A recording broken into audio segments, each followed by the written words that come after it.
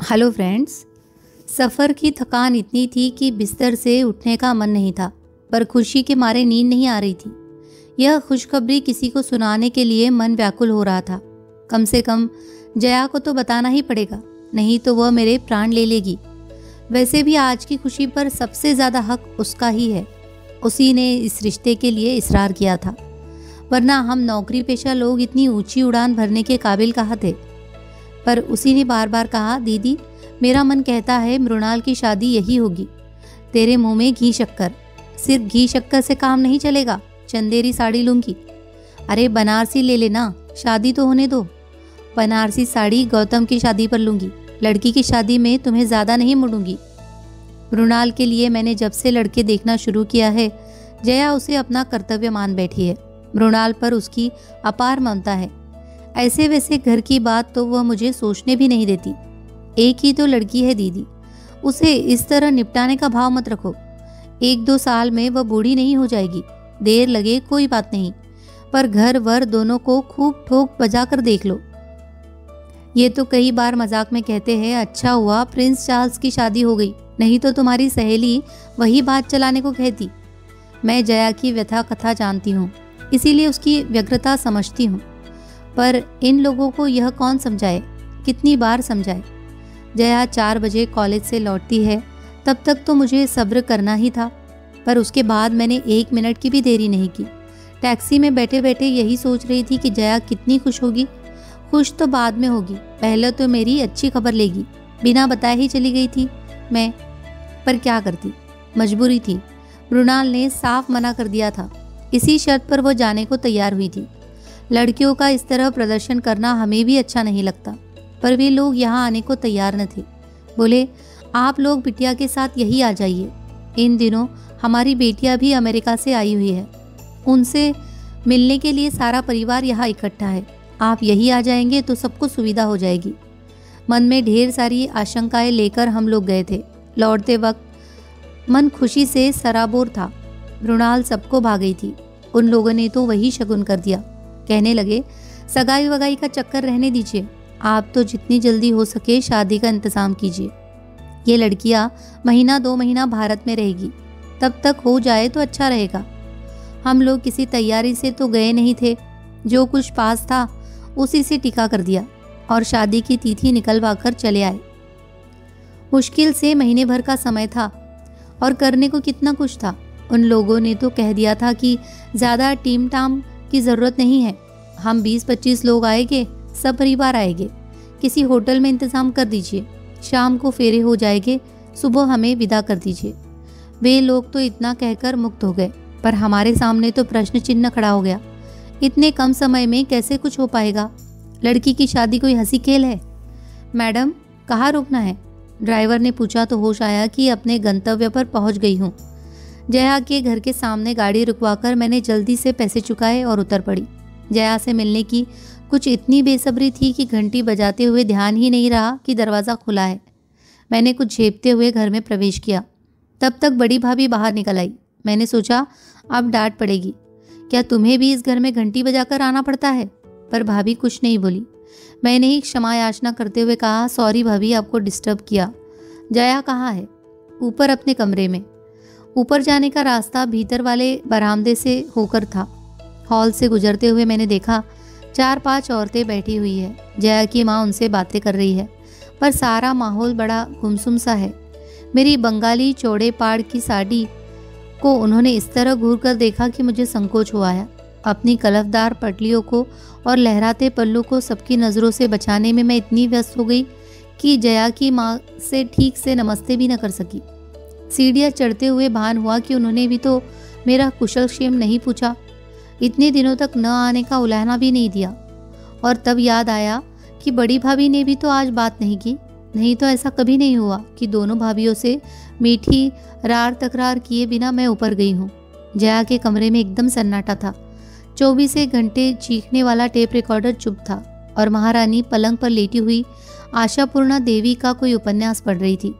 आहा दीदी आ गई। मुझे देखते ही वह पुलकित होकर बोली, और मेरा मन एकदम हल्का हो गया।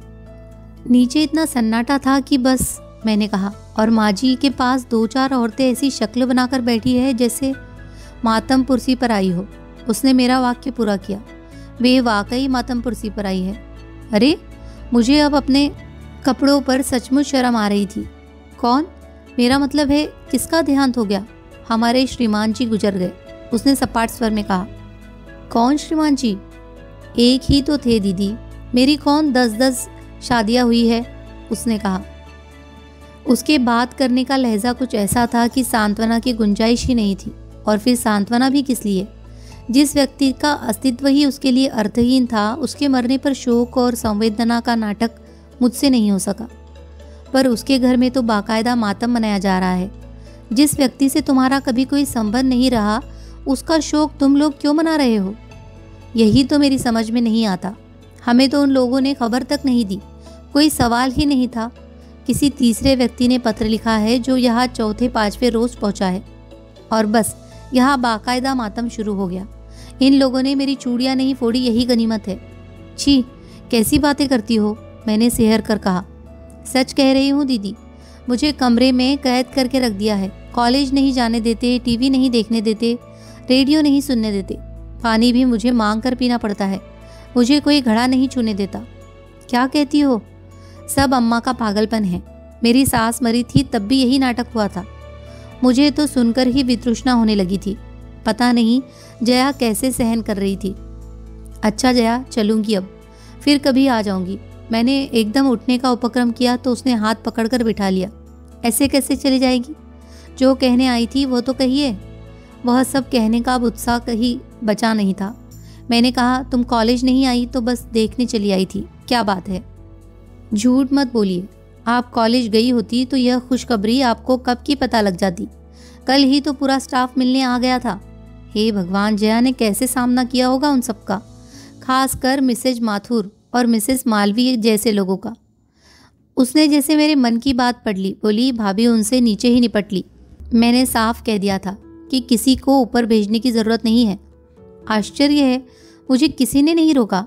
आपकी बात अलग है दीदी, सब जानते हैं, आपसे मिलकर मुझे खुशी होती है। बल्कि आप अगर नीचे से ही लौट जाती तो मुझे बेहद दुख होता, क्योंकि मैं जानती हूँ आप क्या कहने आई थी। बताओ, मृणाल की बात पक्की हो गई है, ठीक है ना? तुमसे किसने, तुमने कैसे जाना? आपके चेहरे से ही पढ़ लिया था। आपके कमरे में आते ही जान गई थी पर सोचा पहले अपनी खबर सुना दो, फिर आपकी सुनूँगी। उसके कहने का ढंग कुछ ऐसा था कि मुझे बरबस हँसी आ गई। शोक और संजीदगी का जो आवरण ओढ़ रखा था, गिर पड़ा। कमरे में आने के बाद पहली बार मैंने खुलकर सांस ली। और सुनाइए, उन लोगों को आपने कैसे पटाया? मैं जैसे इस क्षण की बात ही जो रही थी।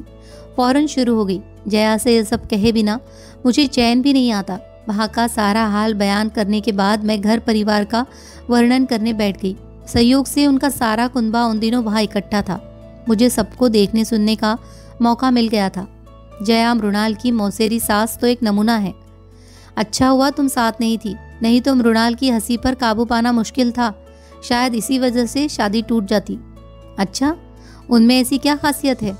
अरे, पढ़ी लिखी तो कुछ खास है नहीं, पर दिन भर अंग्रेज़ी की टांग तोड़ती रहती है। हमारे यहाँ तो सर्वेंटों का बहुत प्रॉब्लम है। ये पिक्चर तो लेडी जी के लायक है। हमारे चिल्ड्रंस तो बहुत शैतान है। मैंने ठीक ही कहा था। मेरे मुँह से सुनकर जया को भी हँसी का दौरा पड़ गया था। वहाँ तो पता नहीं क्या करती, पर जया की हँसी एकाएक थम गई। मैंने पलट कर देखा दरवाजे में छोटी भाभी खड़ी थी। यह किस बात पर इतनी हँसी आ रही थी? उनके स्वर में उपालम था। मैं तो शर्म से गढ़ ही गई। जया ने जैसे मुझे उबारते हुए कहा, भाभी, मृणाल की शादी तय हो गई है। दीदी ने लगे हाथ सगाई की रस्म भी निपटा दी है। चलो ये तो बहुत अच्छा हुआ। भाभी ने निर्लिप्त भाव से शिष्टाचार निभाया। उसमें कहीं कोई खुशी का भाव न था। न उन्होंने घर या वर के बारे में कुछ पूछा। मैं एकदम उठ खड़ी हुई। जया, अब मैं चलूँगी। बहुत देर हो गई। इस बार जया ने मुझे रोकने का प्रयास नहीं किया। भाभी पता नहीं किस काम से ऊपर आई थी। उसे भूलकर मेरे साथ ही नीचे उतरने लगी। बीच सीढ़ियों पर बोली, दीदी, एक बात कहूँ, बुरा तो नहीं मानोगी? कहिए। ऐसे शुभ कार्य की चर्चा आज इस घर में नहीं करनी थी। इससे अपशकुन होता है। चर्चा मैंने नहीं, जया ने ही चलाई थी भाभी। उसने पूछा तो मुझे बताना पड़ा, नहीं तो शायद मैं वैसे ही लौट जाती। पर भाभी, मैं ये नहीं मानती कि इससे अपशकुन होता है। अब आप नए ज़माने की हो।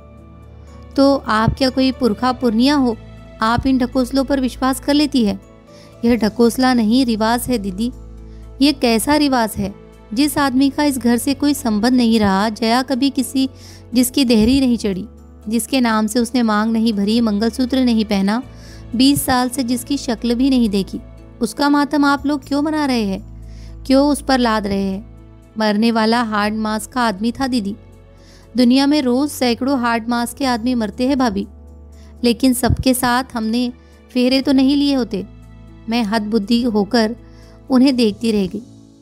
उसके बाद उस घर में एक पल भी ठहरना मेरे लिए दुभर हो गया। मेरी सारी खुशी हवा हो गई थी। मन इतना उद्भ्रांत हो गया था कि घर लौटकर मैंने नौकर को बिना बात के डांट दिया। कमरे की बेतरतीबी पर रुणाल को इस बुरी तरह झिड़की कि वह सिसकने लगी। खाने की मेज़ पर इनसे बिना वजह ही लड़ पड़ी पर सबने मुझे माफ़ कर दिया। सब समझ गए थे कि अब मुझ पर शादी का टेंशन आ गया है और महीना भर किसी की खैर नहीं है। शादी हाँ पिछले कुछ दिनों से मैं केवल मृणाल की शादी के बारे में ही सोचती रही हूँ। रात में सपने में भी उसी के सप उसी को देखती रही हूँ। पर आज की रात जया के नाम भी थी। मेरे मानस पटल पर उसकी शादी के कई चित्र बनते बिगड़ते रहे। मैं उस शादी में उप, उपस्थित नहीं थी। हम लोगों का परिचय तो बहुत बाद में हुआ। पर जो कुछ सुना था वो मेरी कल्पना शक्ति के लिए काफ़ी था। बहुत ऊँचे घर में जया का संबंध हुआ था। चार भाइयों का परिवार था। बड़े भाई पिता के साथ घर का कारोबार देखते थे। बीच वाले दोनों इंजीनियर थे। जया का दूल्हा सबसे छोटा और फिलोसॉफर किस्म का था। जया के पिता वहाँ दो चार बार गए, पर उससे बात नहीं हो पाई। उन्होंने लड़कों से कहा, हो सकता है मेरा लिहाज करता हो। संकोच के मारे न बोलता हो।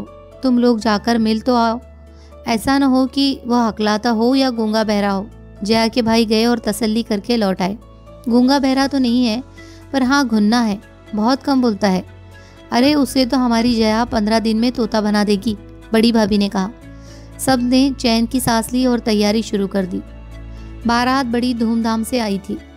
चारों सुदर्शन भाइयों को देखकर लोगों को राम जी की बारात याद आ गई थी। चढ़ावा तो ऐसा था कि सबकी आँखें फटी की फटी रह गई थी। शिकायत थी तो सिर्फ़ लड़कियों को।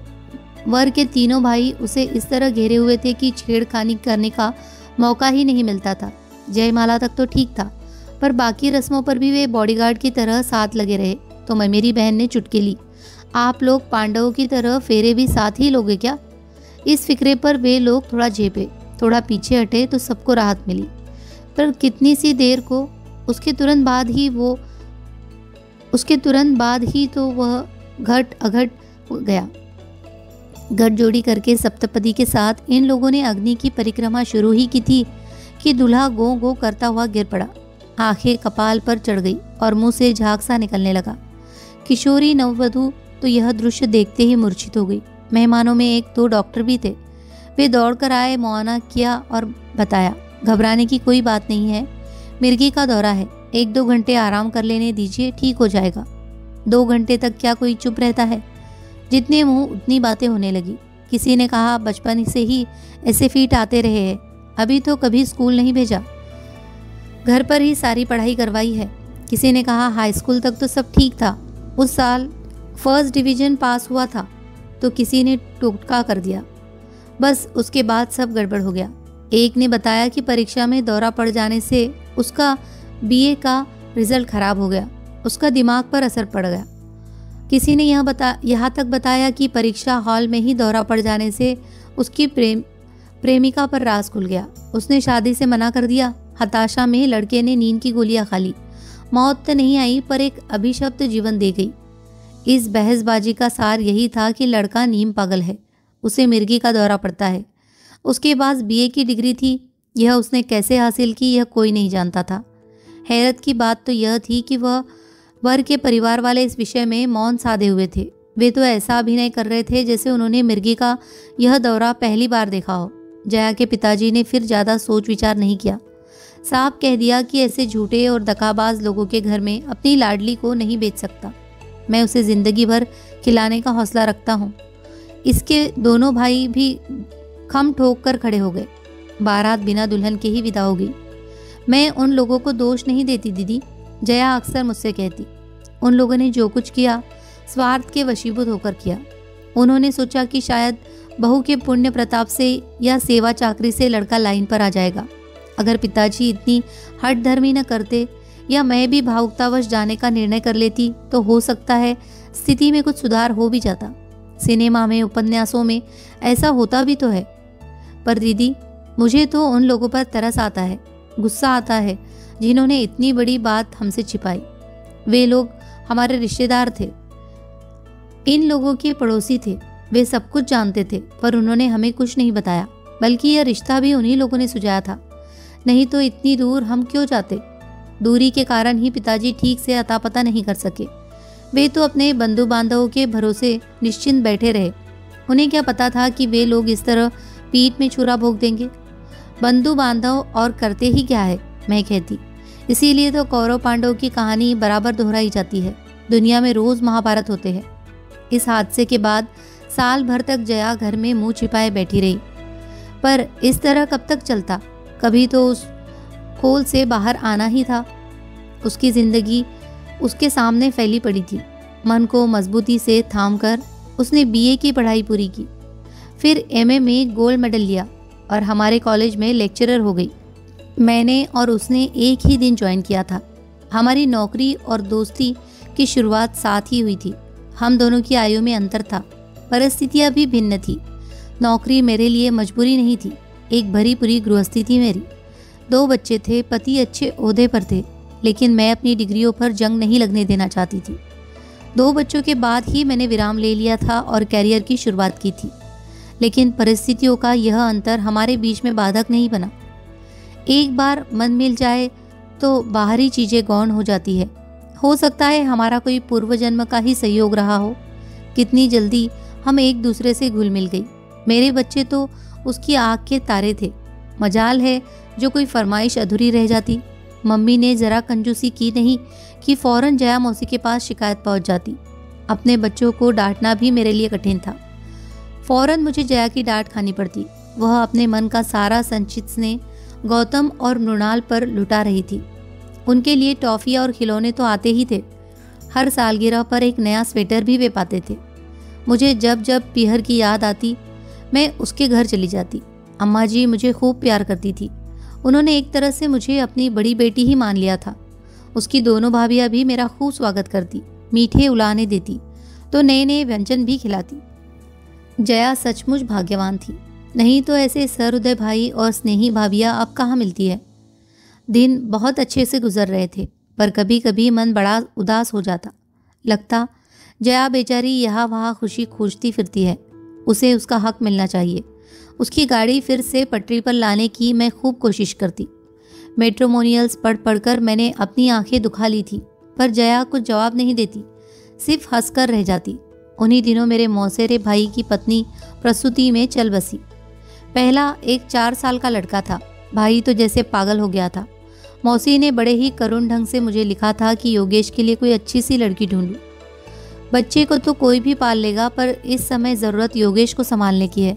निस्संतान हो तो विधवा भी चलेगी, पर लड़की सुशील हो और ब्राह्मण हो। मुझे एकदम जया की याद हो आई। योगेश से अच्छा वर उसके लिए मिल ही नहीं सकता था। रूप, रंग, कद, काठी, विद्या, बुद्धि सभी दृष्टि से वे परस्पर अनुरूप थे। योगेश दुहाजु ज़रूर था, पर जया के साथ भी तो एक कहानी जुड़ी हुई थी। मैं मौसी को पत्र लिखने ही वाली थी, पर सोचा पहले इन लोगों को तो टटोल लूँ। और यह मैंने अच्छा ही किया, नहीं तो बाद में मौसी के सामने लज्जित होना पड़ता। उस घर में इस विषय पर कोई बात करना ही नहीं चाहता था। भाभीियों ने मुझे अम्मा जी के पास ठेल दिया और अम्मा जी ने पिताजी के पास भेज दिया। वैसे तो जया के पिताजी भी मुझसे बहुत स्नेह करते थे, पर उन्होंने मेरा ज़रा भी लिहाज नहीं किया और एक वाक्य में ही सारी बात खत्म कर दी। बोले, बेटी, उसके भाग्य में जैसी शादी लिखी थी, हो गई। हमारे खानदान में लड़की पर बार बार हल्दी नहीं चढ़ती। बात आई गई हो गई। हिंदुस्तान में लड़की की शादियाँ तो रुकती नहीं है। चार महीने बाद ही योगेश का विवाह एक सुंदर सुशील कुआरी कन्या से हो गया। पर जया का प्रश्न तो यथावत था। मैंने उससे कहा, जया, अपने जीवन की गुत्थी तुम्हें ही सुलझानी होगी। कानूनी कार्रवाई में जो मदद चाहोगी, हम करेंगे। पर पहल तो तुम्हें ही करनी होगी। वह बोली, दीदी, बुढ़ापे में पिताजी को दुख देने की इच्छा नहीं होती। इतनी बदनामी शायद वे झेल नहीं पाएँगे। जब तक जया के पिताजी जीवित रहे, यह विषय फिर से उठाने का प्रश्न ही नहीं था। तीन साल तीन साल पहले जब उनका देहांत हुआ, जया पैंतीस पार कर चुकी थी। एक दिन यू ही विषय छिड़ गया था तो बोली, इस उम्र में तो शादी करती क्या अच्छी लगूँगी?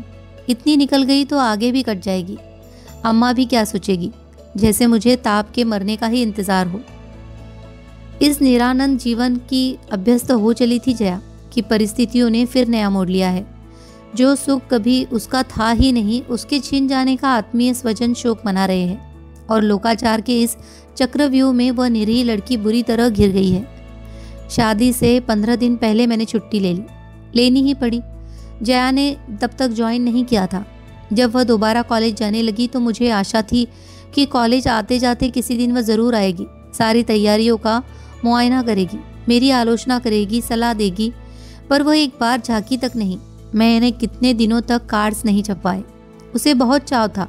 जब भी किसी का कार्ड देखती, कहती, दीदी, मृणाल की शादी में कार्ड्स का कॉन्ट्रैक्ट मुझे देना। देखना, ऐसा डिज़ाइन करूँगी, वो शानदार मैटर होगा कि लोग हॉल्स में सजा कर रखेंगे। रिसेप्शन का मेनू बताते, बनाते हुए उसकी इतनी याद आई। सुनार की दुकान पर अकेले पाव देने का मन नहीं हो रहा था। ढेर सारी साड़ियाँ खरीदनी पड़ी, पर शॉपिंग का कोई मज़ा ही नहीं आया। दुकानदार भी अक्सर पूछ लेते थे, मैडम, आज आपकी सहेली नहीं आई? मैंने तो कभी सोचा भी नहीं था कि वह मेरी ज़िंदगी का इतना ज़रूरी हिस्सा बन गई है। कार्ड देने तो उसके यहाँ जाना ही था। हम लोगों ने पूरे परिवार को सादर निमंत्रित आमंत्रित किया। फिर मैंने जया से कहा, तुम्हें तो पूरे दो दिन की छुट्टी लेनी पड़ेगी। मैं कोई बहाना नहीं सुनूँगी। मृणाल को विदा करके ही तुम घर लौटोगी। उसने फीकी सी हँसी हंसकर कहा, अम्मा से पूछ लो। अम्मा जी तो इनके सामने ज़्यादा बोलती नहीं थी। बड़ी भाभी ने कहा, हम लोगों में से कोई आ जाएगा दीदी, पर जया के लिए इसरार मत करना। देखो, अभी सवा महीना भी नहीं हुआ है, लोग क्या कहेंगे? कोई बहुत तीखी सी बात मेरे होठों तक आई थी, पर मैं जब्त कर गई। इनके सामने तमाशा करने की हिम्मत नहीं पड़ी, और फिर कहने से फ़ायदा भी क्या? बेकार अपना ही मूड खराब होता। हम लोग चलने लगे तो जया ने मुझे एक और बुलाकर कहा, दीदी, मेरी एक बात रखेगी। कहो, मृणाल को दुल्हन के रूप में देखने का बहुत अरमान है। दस मिनट के लिए ही सही, उसे मेरे पास भेज सकेगी? ओ, श्योर, मैंने कहा। उस समय उसका कंठ इतना भिगा हुआ था कि उसकी कोई भी विनती मैं टाल नहीं सकती थी। मन में बस यही कसक बनी रही कि जया नहीं आई, बाकी सारा आयोजन इतना सफल रहा। जिसकी हमने कल्पना भी नहीं की थी। बाराती तो कुल जमा पच्चीस ही थे, पर घरातियों की संख्या उनसे दस बीस गुना अधिक थी। मेरा स्टाफ था, इनका स्टाफ था। मृणाल की सहेलियाँ थी अड़ोसी पड़ोसी थे और थे ढेर के ढेर रिश्तेदार। पर कहीं कोई बद इंतज़ामी नहीं हुई। मंडप की साज सज्जा से लेकर भोजन की व्यवस्था तक कहीं किसी की शिकायत को मौका नहीं मिला। दूल्हे के चुनाव को लेकर तो सभी ने हमें बधाइयाँ से लाद दिया। खुशी का वह भार मुझसे संभाले नहीं, संभल रहा था। मृणाल तो उस दिन इतनी प्यारी लग रही थी। लग रहा था कहीं मेरी ही नज़र न लग जाए। जया की बात पर बार बार मन में आ रही थी, पर मौका ही न मिला। रानी जी ब्राइडल मेकअप करवा के जब पीछे के दरवाजे से अंदर आ रही थी, तब बारात दरवाजे तक आ पहुँची थी। जयमाला के बाद तुरंत ही रिसेप्शन था। उसके बाद विवाह की सारी वैदिक रस्में निपटाते हुए रात के दो बज गए। वे लोग उतनी रात को ही दुल्हा दुल्हन को लेकर होटल चले गए। वहाँ सुसज्जित ब्राइडल सूट उनकी प्रतीक्षा कर ही रहा था। जया की इतनी सी बात न रखने का मुझे बहुत दुख हो रहा था। इसीलिए सुबह सवेरे नहा धोकर मैं होटल पहुँच गई। शहर के सबसे बड़े होटल में उन लोगों को ठहराया गया था। हमें 25 लोगों पर भी उसका खर्च भारी पड़ रहा था। पर ये बोले, उन लोगों ने हमसे कुछ मांगा भी तो नहीं। फिर इंतज़ाम में कंजूसी क्यों करे? मान लो 200 बाराती लेकर आ जाते तो तब तो धर्मशाला में भी हमारे परखच्चे उड़ जाते। गाड़ी से उतरते ही मैं सीधे मृणाल के कमरे में जाने वाली थी, पर संकोच हो आया। फिर इन्होंने भी टोक दिया go through proper chain madam ठीक था। अब तो उसे हम अपनी मनमर्जी से हर कहीं नहीं ले जा सकते थे। उसके सास ससुर से पूछना ज़रूरी था। सौभाग्य से वे जागे हुए थे। हमें देखते ही अचकचा गए। अरे, आप लोग सुबह सुबह जी, बस देखने चले आए थे कि आप लोगों को कोई असुविधा तो नहीं। अरे नहीं जी, बिल्कुल नहीं। दस बजे खाना बिल्कुल तैयार रहेगा, आप लोग वही आ रहे हैं ना? हाँ। बस अब सबको तैयार होने के लिए फरमान भेजते हैं। एक रिक्वेस्ट थी। समदीन को इतना मक्खन लगाने के बाद मैंने असल बात शुरू की। कहिए, मेरी एक सहेली कल शादी में नहीं आ सकी थी। मृणाल को वो बहुत प्यार करती है। जाने से पहले दस मिनट के लिए दोनों वहाँ हो आएँगे तो उसका मन रह जाएगा। उसने बार बार कहलवाया है। लेकिन वे शादी में क्यों नहीं आई? क्या बीमार है? हाँ बस यही समझ लीजिए। दरअसल, उनके हस्बैंड की अभी अभी डेथ हुई है। अब इन्हें बीच में बोलने की क्या ज़रूरत थी? कौन सी बात कहाँ कहनी चाहिए? इसका विवेक तो पुरुषों की कभी होता ही नहीं। दरअसल, बात क्या है बहन जी? मैंने कहना शुरू किया, पर चुप हो गई। जया की कहानी क्या इस तरह एक सास में किसी को सुनाई जा सकती है? मुझे तो आश्चर्य हो रहा है, मिसेज कुमार। अभी तो लड़की की हल्दी भी नहीं उतरी और आप उसे ऐसी जगह भेज रही है। अपने ही हाथों अपनी बेटी को असगुन कर रही है। आश्चर्य तो मुझे होना चाहिए था। मैंने तो कह भी दिया, बहन जी, आप तो यूरोप में आठ दस साल रह चुकी है। क्या आप भी इन चीज़ों को मानती है? यूरोप में रहने से क्या होता है? कोई हम अंग्रेज़ थोड़े ही है, अपनी संस्कृति थोड़े ही छोड़ देंगे। मैं उनके कटे बालों को, रंगे होठों को तराशी भवों को और अनावृत बाहों को देखती रही। विदेश सेवा में रत अपने पति के साथ मैडम ने सिर्फ़ चोला बदला था। मन तो अब भी वही घोर परंपरावादी था और घर परिवार में उनके इसी गुण की प्रशंसा होती होगी। फलाने के, फलाने को बहू इतने दिन फ़ौरन रहकर आई है, पर अपनी संस्कृति नहीं भूली। ये कौन सी संस्कृति है? समधी जी ने शायद मेरे मनोभाव को पढ़ लिया था। खिंचकर पत्नी से बोले, ये किस ढकोसलेबाजी में पड़ी हो? जाने दो बच्चों को, दो मिनट में कुछ नहीं बिगड़ता। पति की अवमानना करने की ताव शायद उनमें नहीं थी। बोली, उन्हें जगने तो दीजिए। फिर मुझसे बोली, आप तो उनके साथ जाएगी ना? अगर आपकी सहेली इन लोगों को कुछ देने लगे तो आप अपने हाथ से दीजिएगा। उनसे मत दिलवाइएगा। जया कुछ देगी, यह तो निश्चित था। नए जोड़े को कोई भी खाली हाथ विदा नहीं करता। उस समय क्या मुझसे निर्मम आज्ञा का पालन हो सकेगा? मैं जया को खुशी देने जा रही हूँ। उसका अपमान करने नहीं। तो रहने ही देते हैं। मैं एकदम उड़कर, उठकर खड़ी हो गई। आपने शंका उठाई है तो अब मेरा मन डावाडोल होने लगा है। वही तो वे खुश होकर बोली, हम लोगों के इतने पुराने संस्कार है, वे सहज ही में थोड़े ही जाते हैं।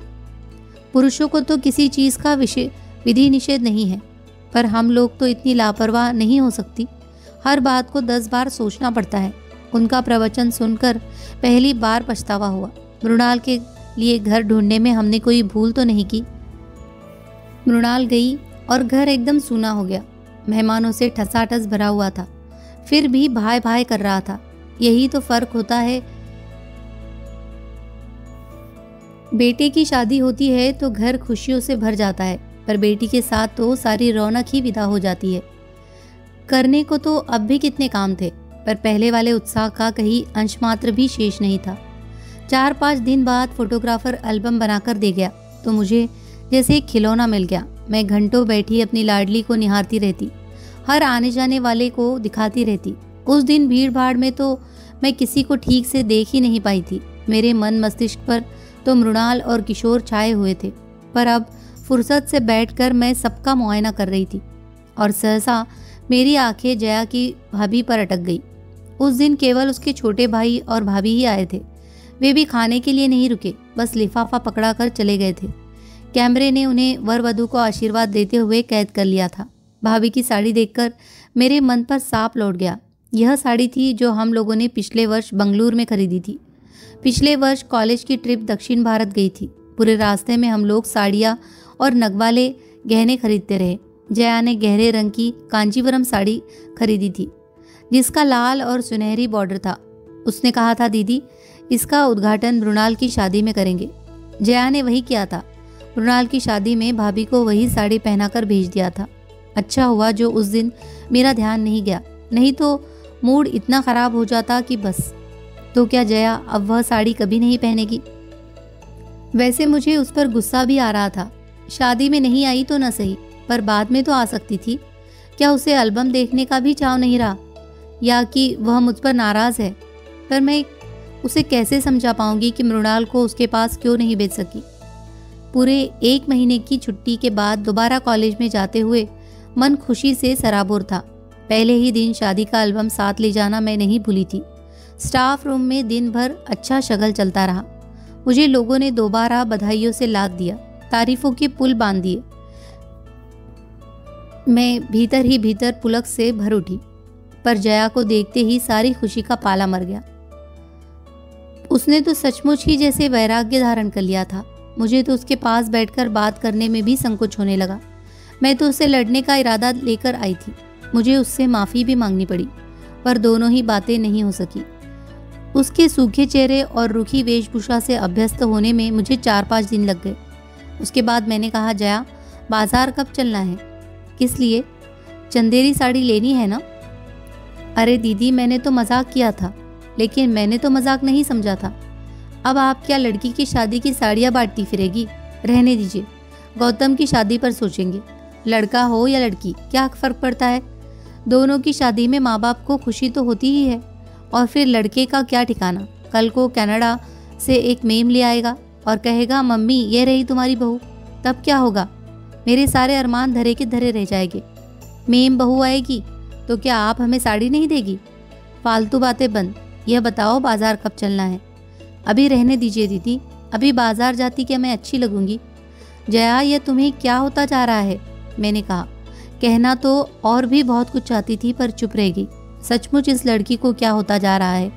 कपड़े तो जैसे भी पहन रही है ठीक है, पर शरीर भी तो सूखता चला जा रहा है।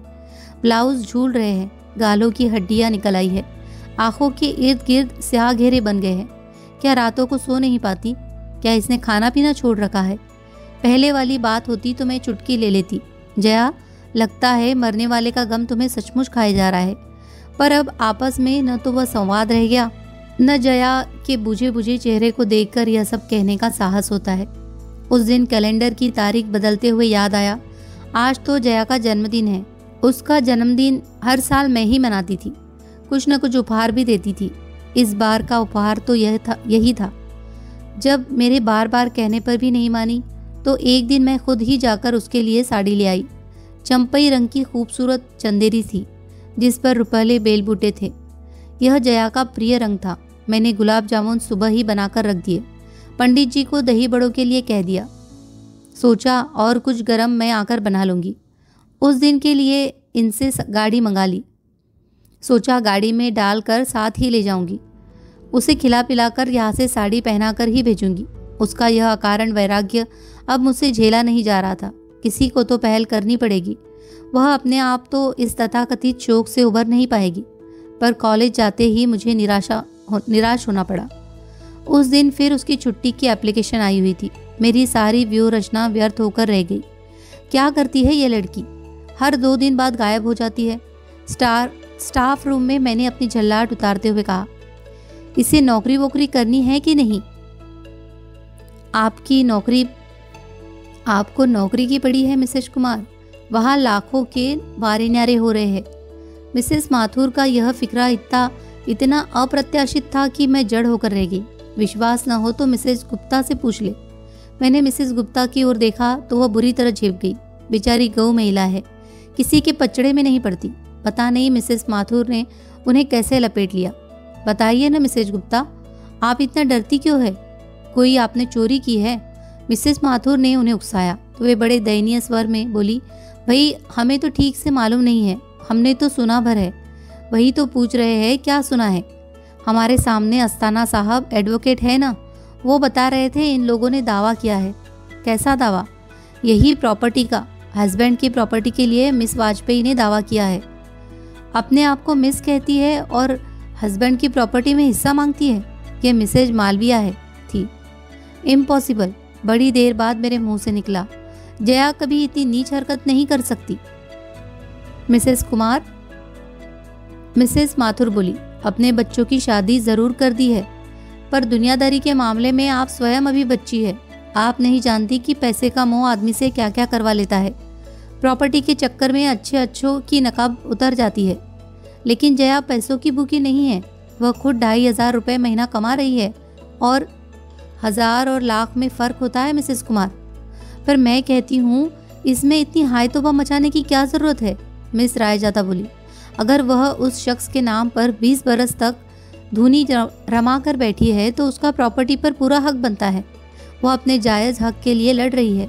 बात जायज़ या नाजायज़ की हक की नहीं है। मिस रायजादा, मैंने संजीदा होकर कहा प्रश्न तो यह है कि जिस बंधन को मन ने कभी स्वीकार ही नहीं किया, उसके मन ज़रूर स्वीकार करता। मिसेस माथुर बोली, अगर मन यह पहले से जानता कि असामी पाँच लाख का है तो वह सारे बंधन स्वीकार कर लेता। पाँच लाख? जी हाँ जया के ससुर इस बेटे के नाम पाँच लाख फिक्स में छोड़ गए हैं। व्यवस्था यह थी कि इस रकम का ब्याज उन लोगों को मिलता रहेगा जो उसकी देखभाल करेंगे। अब तक ऐसा ही होता भी रहा। तीनों भाई बारी बारी से उसे संभालते रहे, लेकिन उसकी मृत्यु ने अब प्रश्न चिन्ह खड़ा कर दिया है, इतनी बड़ी रकम का वारिस कौन होगा? वैसे लीगल राइट तो जया का ही बनता है, मिस रायजादा ने कहा। अरे, वे लोग आपस में फैसला कर लेंगे, पर इसे एक कौड़ी भी नहीं देंगे, देख लेना। सुना है इन लोगों ने नोटिस भेजा है। उससे क्या फ़र्क पड़ता है? मुझे तो उस आदमी की मृत्यु भी स्वाभाविक नहीं लगती। स्टाफ रूम में फिर मृत्यु के कारणों की चर्चा चल पड़ी। कई तर्क कुतर्क उछाले गए, पर मेरा मन उस बातचीत से बहुत दूर चला गया था। जो कुछ सुना था उस पर विश्वास करना कठिन हो रहा था, पर इतने सारे लोग झूठ तो नहीं बोल सकते। उस शाम मैं अपने को ठेल ठाल कर उसके घर ले गई। वहाँ जाने की अब पहले की सी ललक मुझमें नहीं रही थी। उन लोगों का स्वागत भी अपेक्षाकृत ठंडा था। मुझे लगा कि यह संबंध अब बहुत दिनों तक ढोया नहीं जा सकेगा। जया हस्ब हस्ब मालूम अपने कमरे में थी। साड़ी का पैकेट उसकी गोद में रखते हुए कहा, जन्मदिन की एक तुच्छ भेंट स्वीकार कीजिए। ओ दीदी, उसने कहा और उसकी आँखें चलचलाई। यहाँ घर पर तो सब लोग इतने व्यस्त है कि किसी को ऐसी छोटी सी बात का होश ही नहीं है, पर मैं जानती थी। आप नहीं भूलेगी, इसीलिए कॉलेज नहीं आई। बहुत मेहरबानी। आप यह सब क्यों लाई है? आपका तो आशीर्वाद ही मेरे लिए बहुत है। आपके स्नेह ऋण से तो मैं कभी उबर ही ना पाऊँगी। धन्यवाद प्रस्ताव पढ़ चुकी। अब ज़रा खोलकर भी देख लो। उसने कांपते हाथों से पैकेट खोला और विस्मय विमुग्ध होकर देखती रही। कुछ देर तक तो साड़ी को गोद में रखकर उसकी मुलायम सतह पर हाथ फेरती रही। फिर उसे गालों से लगाकर उसके रेशमी चुअन को अपने भीतर समोती रही। मैं मंत्रमुग्ध सी उसे देख रही थी। लग रहा था जैसे वह बरसों बाद किसी अपने से मिली हो। कुछ देर तक वह कमरे में मेरी उपस्थिति को भूल ही गई थी। सुनो जया कल तुम यह साड़ी पहनकर कॉलेज आओगी। कोई बहाना नहीं चलेगा। तुम्हारा वैराग्य पर्व अब समाप्त करना ही पड़ेगा। वह कुछ देर तक मुझे देखती रही और एकदम बिलक पड़ी। दीदी, मरने वाला अपने साथ मेरे पहनने उड़ने का सुख भी ले गया। अब ये साड़ी मेरे किसी काम की नहीं है और वह भर भरा कर रो पड़ी। पति की मृत्यु के ढाई महीने बाद जया का बाँध टूटा था। मुझे समझ में नहीं आ रहा था कि उसे सांत्वना कैसे दूँ, क्योंकि मैं नहीं जानती थी। कि उसके दुख की जाति क्या है। मैं सिर्फ़ उसकी पीठ पर, बालों पर हाथ फेरती रही। मैंने उसे चुप कराने का भी प्रयास नहीं किया। इतने दिनों से संचित आवेग का बह जाना ही ठीक था। बहुत देर तक रो लेने के बाद वह कुछ हल्की हो आई। बड़े ही तरल स्वर में उसने कहा, अगर मुझे कुछ देना ही चाहती है दीदी तो एक सफ़ेद चिकनी की, एक सफ़ेद चिकन की साड़ी लाकर दे दीजिए। खुद जाकर खरीदने का साहस मुझमें नहीं है। तो तुम अब सफ़ेद साड़ी भी पहनोगी। हाँ दीदी बिल्कुल टीनोपॉल काइट टाइट साड़ी। उसे पहनकर औरत देवी लगती है। उसे देखकर दया भी उपजती है और श्रद्धा भी। मैंने ध्यान से सुना। उसकी बातों में वह पुरानी जया फिर से झांकने लगी थी। शायद जी भरकर रो, रो लेने से मन पर पड़ी उदासी की परत धूल गई थी। मैंने भी फिर उसी मूड में उत्तर दिया। खबरदार जो कॉलेज में सफ़ेद साड़ी पहन कर आई मैं गेट के भीतर कदम नहीं रखने दूँगी। कॉलेज की नहीं, दीदी, मैं तो कोर्ट की बात कर रही हूँ। वहाँ तो सफ़ेद साड़ी पहनकर ही जाना पड़ेगा। अगर असहाय, निराश्रित विधवा का रूप नहीं धरूँगी तो जज साहब पसीजेंगे कैसे? कितनी आसानी से, बेतकल्लुफ़ी से वह इतनी बड़ी बात कह गई थी। उसके माथे पर शिकन तक नहीं आई। मुझे वितृष्णा सी होने लगी। क्षण भर पहले ममता से उमकता मेरा मन काट हो गया। तो मैंने जो सुना है, वह सब सच था? क्या इसीलिए यह नाटक हो रहा था? नहीं, दीदी। अब तक जो हुआ, वह लोकाचार था। नाटक तो मैं अब करूँगी। आप देखती जाइए। जया हाउ कैन यू गुस्से के मारे मेरे मुँह से शब्द भी नहीं निकल सके। आप यही कहना चाहती है ना? कि जिसके सुख दुख में मैंने कभी हिस्सा नहीं बटाया, उसकी संपत्ति में हिस्सा क्यों मांग रही हूँ? जिसका नाम कभी मैंने अपने नाम के साथ नहीं जुड़ने दिया, उसके वारिसों की लिस्ट में नाम क्यों लिख रही हूँ? आप यही कहना चाहती है ना? हाँ मैं यही कहना चाहती हूँ। मैं यही पूछना चाहती हूँ कि ज़रा से रुपयों के लिए तुम अपने आत्मसम्मान को ताक पर क्यों रख रही हो? क्या आप सोचती है मैं यह सब अपनी मर्ज़ी से कर रही हूँ? तो किसकी मर्ज़ी से कर रही हो? और मर्ज़ी किसी की भी हो, क्या फ़र्क पड़ता है? करने वाली तो तुम हो। मजबूर है दीदी कभी कभी मनुष्य को ऐसे भी काम करने पड़ते हैं, जिसके लिए मन गवाही नहीं देता। ऐसी कौन सी मजबूरी है? मजबूरी यह है कि इस मन से परे भी एक दुनिया है, जिसमें माँ है, भाई भतीजे हैं, भाभिया है। वे लोग क्या कहते हैं? कहते हैं कि समय के साथ चलना सीखो। अम्मा कहती है कि तुम्हें भाइयों के पास ही रहना है तो उनकी होकर रहो, उनके मन की करो। और भाई कहते हैं, दीदी, कितना आदर्श परिवार था हमारा। लोग घर की बहू बेटियों के सामने हमारे घर की मिसाल रखते थे। कितने उतार चढ़ाव आए होंगे, पर हमारे यहाँ कभी चकचक नहीं हुई। सास, बहू, ननद, भौजाई, देवरानी, जेठानी, इनके बीच कभी तकरार नहीं हुई। बहुत अमीर तो हम कभी नहीं थे, पर दाल रोटी आराम से चल जाती थी, और सब उसमें खुश भी थे। पर इधर कुछ दिनों से असंतोष का लावा सा फूट पड़ा है। पता नहीं कितनी अतृप्त इच्छाएँ एकदम सिर उठाकर खड़ी हो गई है। बड़ी भाभी दिन रात बिसुरती रहती है कि पैसों के अभाव में महिमा की शादी अच्छे जगह नहीं हो सकी। अब कम से कम अनिमा के लिए ही अच्छा घर वर टूट जुट जाता। छोटी भाभी कहती है कि इंजीनियरिंग में एडमिशन नहीं हुआ तो मयूर शायद आत्महत्या ही कर लेगा। पर भैया के पास कैपिटेशन फ़ी के पैसे नहीं हैं। छोटे भैया का दस दड़बे में दम घुट रहा है और वे शहर से बाहर एक अच्छा सा फ्लैट खरीदना चाहते हैं। बड़े भैया कहते हैं कि पैसे का सुविधा हो जाए तो वे इस घर की काया पालट ही कर देगी। और इन सब कामों के लिए तुम्हें बरेली वालों का रुपया चाहिए, यही ना? हाँ और भैया कहते हैं, तुम किसी से भीख नहीं मांग रही हो, यह तुम्हारा कानूनी हक है। आखिर तुमने 20 साल तक तपस्या की है, ये तपस्या की बात तुम्हारे गले से उतरती है? न उतरे तो उपाय क्या है? आखिर रहना तो इन्हीं लोगों के साथ है। तुम इतनी निरुपाय तो नहीं हो जाया? अच्छी खासी नौकरी करती हो। नौकरी सिर्फ़ रोटी देती है दीदी, पर हिंदुस्तानी औरत को एक सुरक्षित छत चाहिए। फिर चाहे वो पिता की हो अथवा भाई की, पति की हो अथवा बेटे की। इसीलिए तो इस लड़ाई में अम्मा भी मेरे साथ नहीं है। इस चौथेपन में वे बेटों से बिगाड़ नहीं कर सकती। आखिर वे ही तो उन्हें मुखाग्नि देंगे। मेरा क्या है? मैं तो महज एक लड़की हूँ, जो जन्म लेते ही परिवार पर भार बन जाती है। I am sorry Jaya. मैंने उठते हुए कहा, तुम्हारी परेशानियों को तुमसे ज़्यादा कौन समझ सकता है? मैं तो यो ही कुछ न कुछ कहती रहती हूँ, मेरे भाषण का बुरा न मानना। वह मुझे छोड़ने नीचे तक आई, पर हम दोनों में फिर कोई बात नहीं हुई। बैठक से गुजरते हुए देखा घर के लगभग सभी सदस्य वहाँ उपस्थित है और गर्मा गर्म बहस चल रही है। जया, ज़रा इन लोगों की हिमाकत तो देखो, बड़े भैया ने एक कागज़ नचाते हुए कहा, क्या हुआ? अरे, वे लोग तो तुम्हारी शादी को ही चैलेंज कर रहे हैं। लिखते हैं कि हिंदू विवाह नियम के अनुसार फेरों के बाद ही विवाह पूर्ण रूप से संपन्न माना जाता है। जयमाला कोई वैदिक विधान नहीं है, यह तो मात्र एक परंपरा है। मैं दस गवाह खड़े करके रख दूँगा कि फेरे हुए थे, छोटे भैया ने जोश में कहा। तो क्या वे लोग सौ गवाह नहीं ला सकते? आखिर पाँच लाख का मामला है। जया की इस व्यंग्योक्ति पर छोटे भैया चकित होकर उसे देखते रह गए। तुम्हारी सास के मरने पर आपने यह यहाँ चिट्ठी आई थी। पिताजी की पुरानी फाइलों में अब वह अब भी मिल जाएगी। हम उसे कोर्ट में दिखा सकते हैं, अगर हमारा कोई संबंध नहीं था तो हमें सूचना क्यों भेजी गई? बड़े भैया की दलील बड़ी जोरदार थी, पर जया के पास भी नहले पर दहला था। अगर वे सचमुच मेरी सास थी तो मैं उस समय बरेली गई क्यों नहीं? सास के बाद मेरे ससुर भी शांत हुए थे। उनकी खबर क्यों नहीं आई? उनके बेटे के बारे में भी तो हमें तीसरी जगह से पता चला। उन लोगों ने क्यों नहीं लिखा? यही तो जालसाजी है। इसी पॉइंट पर तो हम उन्हें धर लेंगे। और अगर वे पूछे कि मैं अब तक मिस वाजपेयी क्यों हूँ तो आप क्या जवाब देंगे? मेरा service record GPF bank account सब तो इसी नाम से है। अरे तू तो जीरा पर उतर आई। बड़े भैया एकदम गुस्सा गए। जिरह कर भी रही है तो किसकी तरफ़ से? यह तो देखो। मैं अपनी ओर से जिरह कर रही हूँ, छोटे भैया। जया ने आवेश में भरकर कहा, उनतालीस साल की हो गई हूँ मैं। कभी तो मुझे बोलने का मौका दीजिए। हाँ बोलो, क्या कहना चाहती हो?